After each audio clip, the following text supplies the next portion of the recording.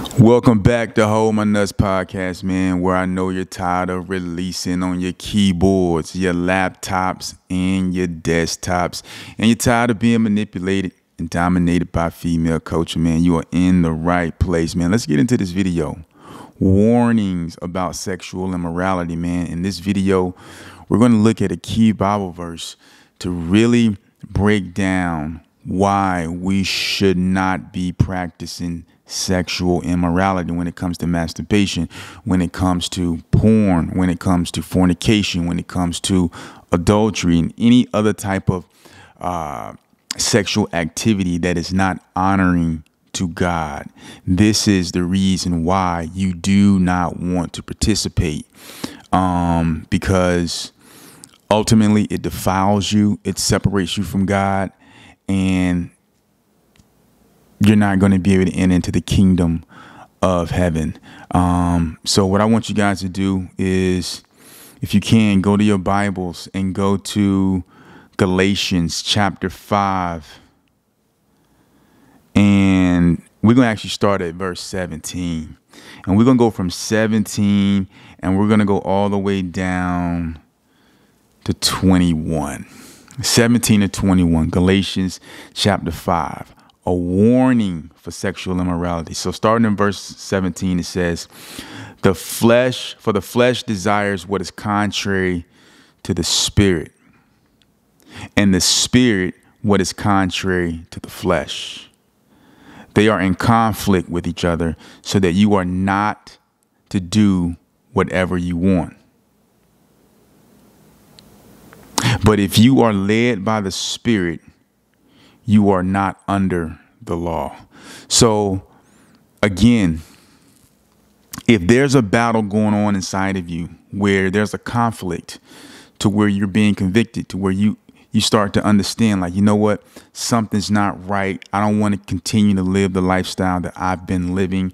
I don't want to continue watching porn. I don't want to continue masturbating. I don't want to continue fornicating with any and every girl that i come in contact. I don't want to keep simping. I don't want to keep running behind women i don't want to commit adultery i don't want to participate in these sexual activities that i know is not right. And so there's a conflict going on, right? There's a time in your life where you were comfortable doing these things. You know, you didn't you didn't get convicted by the Holy Spirit. You you weren't like feeling bad after you committed these acts. You actually felt quite gratified, you know, and you wanted to continue to indulge in these type of behaviors. Some of you felt more masculine, you felt more manly because you were able to do these things. Um, but when God begins to work on your heart, a war begins to take place. A struggle begins to take place to where it's not as easy to get away with these things because your conscience is speaking to you. So if you have gravitated to semen retention, if um, you you understand like oh you know my life is not where it needs to be this is christ. This is the spirit letting you know that what you're doing is unacceptable. And now there's a war going on inside you. So the flesh is going to war against the spirit. Before christ your spirit was dead. So your flesh was ruling but now there's a conflict now there's someone coming in and opposing the type of behaviors that you once had this is what Paul is talking about in Galatians 5. He goes on to say in um, verse 19, he says, The acts of the flesh are obvious, meaning it's no secret, meaning there's no uh, ambiguity when it comes to sexual immorality. No matter what the world says, no matter what mainstream media says about, you know, masturbation being helpful and, you know, um, all of these things that we're seeing on the internet that is just, you know, people living their lives and, you know, all of these things. The Bible says that sexual immorality is it's obvious. The acts of the flesh are obvious. Verse 19, the acts of the flesh are obvious. Sexual immorality, impurity, and debauchery, idolatry, and witchcraft, hatred, discord, jealousy, fits of rage, selfish ambitions, dissensions, fractions, and envy, drunkenness, orgies, and the like. Here's the warning I warn you, as I did before, that those who live like this will not inherit the kingdom of God. Now, here's what you have to understand about inheriting the kingdom of God the kingdom of God is here right now. The kingdom of God is here. The kingdom of God arrived with Christ. So if you are practicing these things, you will not enter into the kingdom of God. The kingdom of God is here. And when you die, your soul will rest in eternal hell fire. These are just the facts. There's a reason there's a struggle going on with you. That that opposing force is there to let you know that these things are no longer acceptable and you need to make a complete 180 and turn your life around. You will no longer be able to be comfortable with sin. You will no longer be able to be in oneness with sin because the Spirit has showed up and your spirit now is warring against the flesh. says the acts of the flesh are obvious sexual immorality. That's any type of sexual behavior that is dishonoring to God. Exposing yourself, seducing women, fornication, adultery, sleeping with women that belong to someone else. You got to understand when you commit adultery, you are basically disregarding God's high esteem for covenant relationship. You're saying to him, I don't care about your covenant. I don't care that it's holy and sacred to you. I'm going to do this anyway. Right? That's what you're saying. That's what you're doing. But here's the thing in Ecclesiastes, it says that people will continue on in sin because there's no there's not a quick recompense for sin so when there's no quick recompense for sin people tend to continue in their sin they they, they continue in their sin because the longer they don't see anything happening to them the longer they don't see the wages of that sin they tend to think that the punishment has been you know, forgotten about. They tend to think that, oh, you know, maybe this is okay, maybe it's not so bad. They tend to get comfortable with it. And then, right at the most inconvenient time for them, God brings down the hammer. Impurity, sexual immorality, porn. You're causing yourself to be unpure. You're defiling yourself. You're making your soul dirty. When you commit these type of sins, you are committing a sin against your own body. You are doing a disservice to yourself. Debauchery. That's just wild partying, wild living, um, just living a reckless life, not holy and acceptable. Idolatry and witchcraft it's amazing that idolatry and witchcraft go hand in hand. See, idolatry is you worshiping something other than God. Idolatry is you supplanting the creator for the created thing. See, we worship the paper that comes from the tree. We worship the breast, the buttocks, the pretty face, the thin waist. We worship the creation as opposed to worshiping the creator. This is idolatry when we remove God and we insert and implant what we desire and what we want. Things that won't even satisfy, things that won't even last, things that can't deliver you from your enemies, things that cannot deliver you from hell's fire, things that cannot deliver you from the wrath of God. Do you understand that on the cross, Jesus Christ absorbed the full wrath of God in a matter of hours? The full expression of God's wrath, his anger, and his indignation against sin was poured out in a perfect sacrifice on the Son. He absorbed the full wrath of God, meaning he took all of your dirty thoughts. He took all of your sexual perversion and anything else you can think of. He took it upon himself. He was labeled the guy who was beating his meat, desecrating keyboards, laptops, and desktop. This was placed on Christ. That sin was placed on Christ. Every time you watch porn and you splattered that keyboard, that was placed on Christ. Every time you were uh, manipulated and dominated by women because you were so driven by your sexual desires, like Samson, like Solomon, like David, that was placed on Christ. Here's the kicker listen to me closely. If you die in your sins,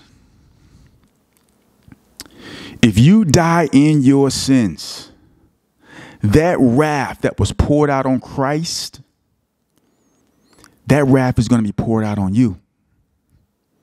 See, Christ absorbed that wrath in a matter of hours because he was God in the flesh. He was spotless. He was sinless. He was the lamb unblemished. He could absorb the wrath of God and come back from the dead. But my friend, if you die in your sins, that cup of God's wrath. There's a story that um, a storybook that my children used to, to, to used to read. It was called The Poison Cup. The Poison Cup is a story. It's, it's a children's story, but the Poison Cup was a, was a filthy, nasty cup of all of our sin, of all of our just yucky, uh, just crazy life poured into this cup. It was filled with poison. And the Messiah had to drink this poison. He had to drink the poison in this cup. And he knew when he drank this cup of poison that he was going to die. But he drank it anyway. Regardless of how disgusting and how profane it was, he still drank the cup. He absorbed every last drop of the poison and died so that you wouldn't have to drink that cup. But if you so desire to drink that cup, I can assure you this He is going to pour that cup out on you in full expression. And it took Christ a matter of hours to absorb the wrath of that cup. But it's going to take an eternity in hell for you to absorb that wrath. You'll never be able to absorb the wrath of God because God is eternal. He's an eternal being. So when you commit an offense against God, it's forever. It never goes away. That offense is forever. It can never be satisfied unless there's an eternal sacrifice made that's worthy that could satisfy that wrath. This is why the sacrificial system, you had to keep making atonement for sins year after year after year after year because the Bible says in Hebrews that the blood of lambs and goats can never take away the sins of the world. If you're living this lifestyle, man, idolatry and witchcraft, these things go hand in hand. So when you supplant God for whatever idol it is that you want to worship, now you're in witchcraft. You are in witchcraft because now you're giving your homage adoration, love, respect to a deity that can't provide you anything. You are worshiping the creator. I'm sorry, you are worshiping the creation, not the creator. This is the deception of modern day times. Hatred, discord, jealousy, fits of rage, selfish ambitions, dissensions, fractions, envy, drunkenness, orgies, and the like. He says, I warn you, those who live like this will not inherit the kingdom of God. So, what are you forfeiting when you decide to live like this? You're forfeiting peace. Number one, you're forfeiting communion with the triune God. That's that's number one. Right? You're you don't have access into the kingdom, which is love, joy, peace, happiness, the abundant life, wisdom, knowledge, and understanding. So you got to understand something when you have wisdom, knowledge, and understanding, and it's powered by the altar of God, is that it'll give you anything you want wealth, riches, all of that stuff is a necessity. That's why the Bible says, Seek ye first the kingdom of God, and all these things shall be added unto you, because it's just, they're all connected. You can't serve God. You cannot have wisdom and not be successful. That's what the book of Proverbs is all about. That's why people say, you know, they try to make this, um, you know, being poor some type of pious act, some type of, you know, um, you know, some type of righteous feat. Being poor, like it's like a it's like a, a badge of righteousness. It's not. And pretty much in most cases, and I'm not ta- I'm talking I'm talking about in most cases, poverty is a result of sin. Poverty is, is a result of lack of wisdom. I'm not talking about extreme cases where you know people are poor because of governmental conditions and they can't get out of these conditions because they have bigger powers controlling them but I'm I'm talking about people who do have the power to make decisions and and are able to make a decision every day whether to get up and go to work. They're able to make a decision every day to whether to take that hundred dollars and buy this or buy that. Right? They, they can make a decision every day to to get this or that and to tie themselves in debt. They can make those decisions. And when you make the wrong decisions, that's because of sin. That's because of selfish ambitions. That's because of idolatry. That's because you don't have self control. So don't ever look at your situation, especially if you live over here. Um, you need to really be careful how you look at your situation when it comes to finances. Because you can be making excuses to be poor because you're lazy and you're thinking that is that means you're righteous. You're not. That that's not what that means. When you forfeit the kingdom of God you're forfeiting all of these things revelation from God, wisdom from God, knowledge from God, direction from God. God speaks, man. I used to believe that he didn't speak. I used to believe that he didn't speak outside the 66 books. I don't believe that anymore. He speaks. He speaks in dreams. He speaks in people. He speaks in situations in your life. He he speaks.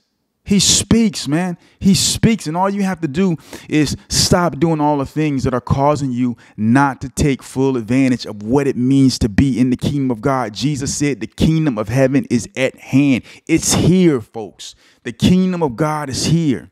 But if you continue to live a life that's talked about in Galatians 5, verses 17 through 21, you will not inherit the kingdom of God. You will not inherit eternal life.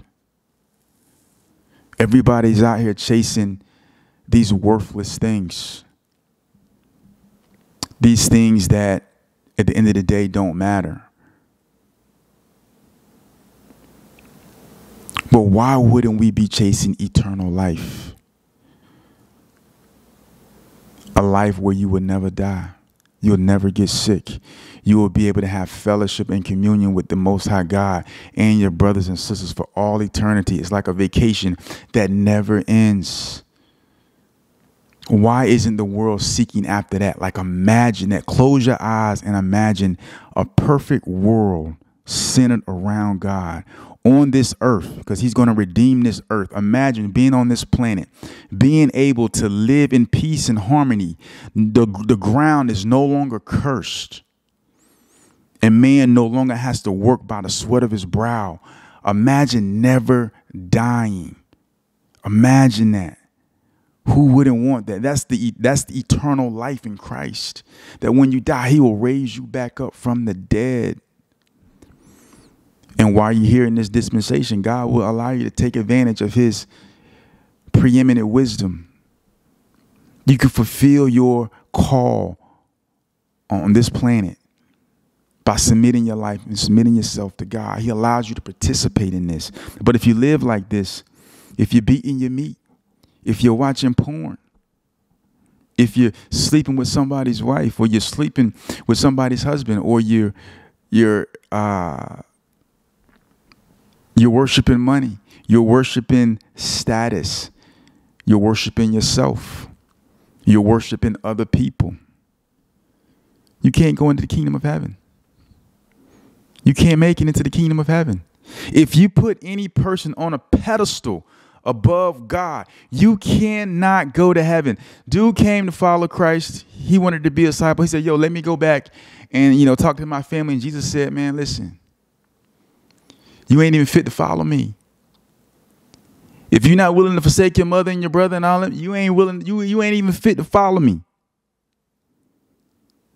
If you put anyone on a pedestal, and I'm specifically speaking to this channel and to this audience, if there's a woman that you have put on a pedestal, you are not worthy to enter into the kingdom of heaven.